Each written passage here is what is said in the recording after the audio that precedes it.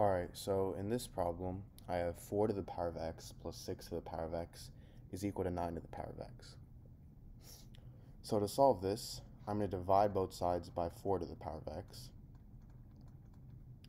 So I get 4 to the power of x over 4 to the power of x plus 6 to the power of x over 4 to the power of x is equal to 9 to the power of x over 4 to the power of x.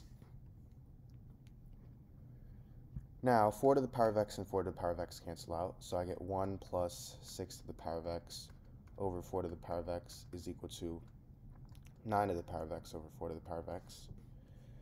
And if I have something in the form a to the power of m over b to the power of m, this is equal to a over b to the power of m. So in this case, 6 to the power of x over 4 to the power of x is going to equal 6 over 4 to the power of x. And 9 to the power of x over 4 to the power of x is going to equal 9, to the 9 over 4 to the power of x. Now I can simplify these fractions. So 6 over 4 is equal to 3 over 2. And 9 over 4 I'm going to rewrite as 3 squared over 2 squared. And I can actually use this property again for 3 squared over 2 squared. So that's going to equal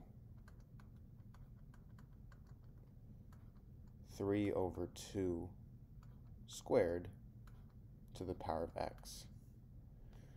And if I have something in the form a to the power of m over a to the power of n, this is the same thing as a to the power of n to the power of m. So this can equal 1 plus 3 over 2 to the power of x, which is equal to 3 over 2 to the power of x to the power of 2. Now I'm going to let 3 over 2 to the power of x equal to the variable y. So I get 1 plus y is equal to y squared and if I subtract y minus 1 on both sides, these four cancel out, and I get y squared minus y minus 1 is equal to 0.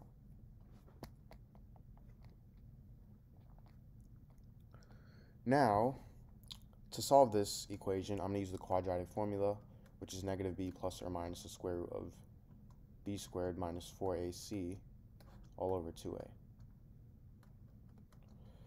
So in this case, a is 1, b is negative 1, and c is negative 1. So I get y is equal to negative of negative 1 plus or minus the square root of b squared minus 4ac. So negative 1 squared, which is 1, minus 4 times a, which is 1, times c, which is negative 1, all over 2a, so 2 times 1. Now this is equal to positive 1 plus or minus square root of 1 plus 4 over 2 which is equal to 1 plus or minus the square root of 5 over 2. So y is equal to 1 plus or minus the square root of 5 over 2. However, we're not done yet because we're not solving for y, we're solving for x. And remember how we let 3 over 2 to the power of x equal to y.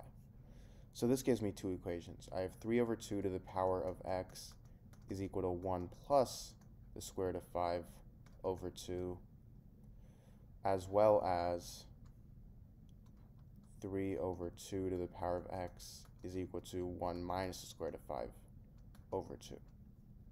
Now to actually start, we can already cancel out one of these equations, which is the right-hand one, because 1 minus the square root of 5 is going to be a negative number, and you can't take the power of a positive number and make it equal a negative number. So this equation wouldn't even work. So the only equation I have left is 3 over 2 to the power of x is equal to 1 plus the square root of 5 over 2. And to solve this, I'm going to take the log on both sides. So I've log 3 over 2 to the power of x is equal to log 1 plus the square root of 5 over 2. So now this turns into x times log 3 over 2 is equal to log 1 plus the square root of 5 over 2. And now if I divide both sides by log 3 over 2,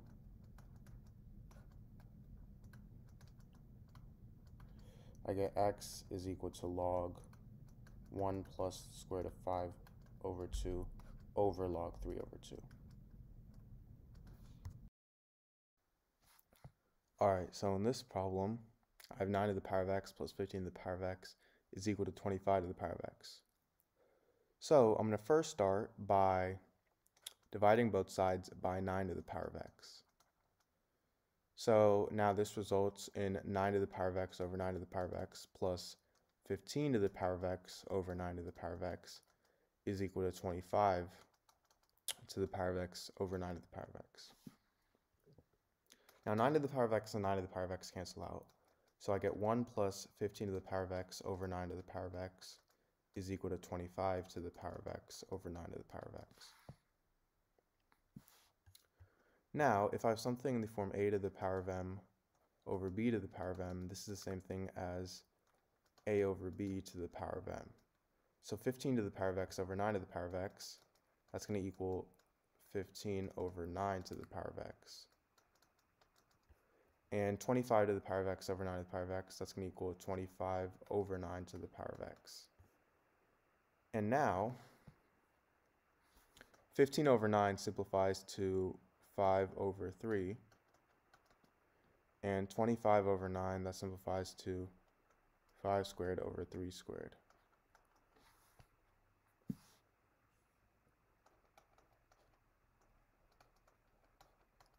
So now 5 squared over 3 squared, that's going to equal 5 over 3 squared. Now I have this to the power of x. Now if I have something from a to the power of m to the power of n, same thing as a to the power of n to the power of m. So 5 over 3 squared to the power of x, that's the same thing as 5 over 3 to the power of x squared. Now I'm going to let 5 over 3 to the power of x equal to the variable y. So I get 1 plus y is equal to y squared. And if I subtract y and 1 on both sides, I get y squared minus y minus 1 is equal to 0. So I get a quadratic equation, and to solve this, I'm going to use the quadratic formula, which is negative b plus or minus the square root of b squared minus 4ac all over 2a. So in this case, a is 1, b is negative 1, and c is negative 1.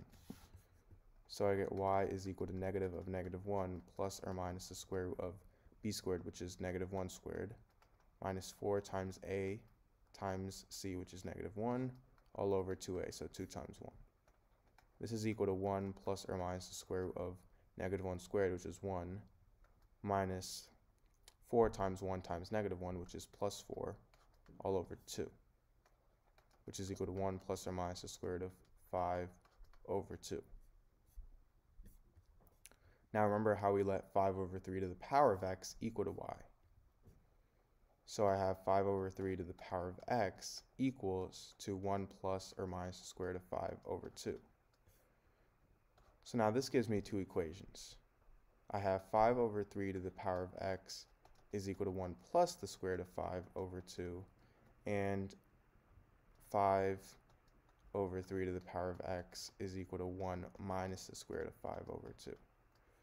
So 5 over 3 to the power of x equals 1 minus the square root of 5 over 2. Well, 1 minus the square root of 5, that's going to be a negative number. And a negative number divided by 2 is still a negative number. And notice how we have a positive number to the power of another number here. And you, ta- you can't take the power of a positive number and make it equal to negative, so there's no solution for this. Now for 5 over 3 to the power of x is equal to 1 plus the square root of 5 over 2. To solve this, I'm going to first start by taking the log on both sides. So I have log 5 over 3 to the power of x is equal to log 1 plus the square root of 5 over 2. And if I have something in the form log a to the power of b, I can move b to the front, so it's going to equal b times log a.